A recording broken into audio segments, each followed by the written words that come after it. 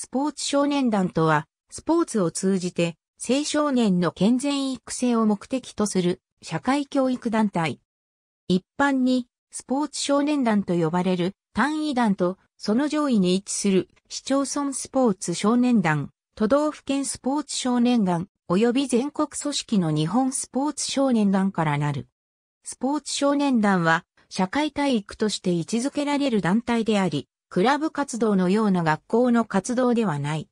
学校単位で活動するところが多いが、地域単位、または地域をまたいでの活動をする団もある。指導員は、学校教員、一般人を問わず20歳以上であればよいが、所定の講習等を受けた指導者が、各団2名以上は必要である。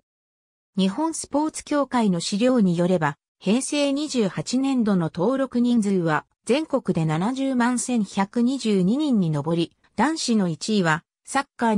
24.2%、2位、野球23.4%、女子の1位、バレーボール19.0%、2位、バスケットボール17.0%などとなっている。平成28年度現在、ラグビーやドッジボールの少年団の数はおよそ100程度。軟式野球の6381、サッカー4193に比べると少ない。野球やサッカー、バレーボールなど様々な球技のスポーツ少年団が以前から存在しているが、かつてのスポーツ少年団は圧倒的に野球が中心であった。しかし、漫画、キャプテン翼の影響や J リーグ発足以降はサッカーも増え、漫画、スラムダンクの影響でバスケットボールもメジャーになった。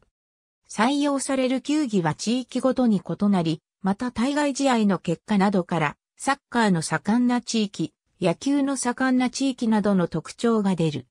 また、地域により例えば、男子はサッカー、女子はバレーボールのようなステレオタイプが形成されることもある。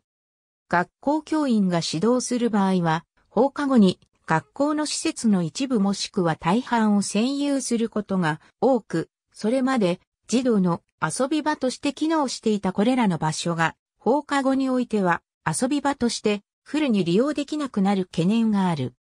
個人で開設された道場による柔道、剣道、空手などの武道も小学生を中心とした構成となるところが多く、保護者によりスポーツ少年団と等価な認識をされることがあるが、これらが必ずしもスポーツ少年団とは限らない。ありがとうございます。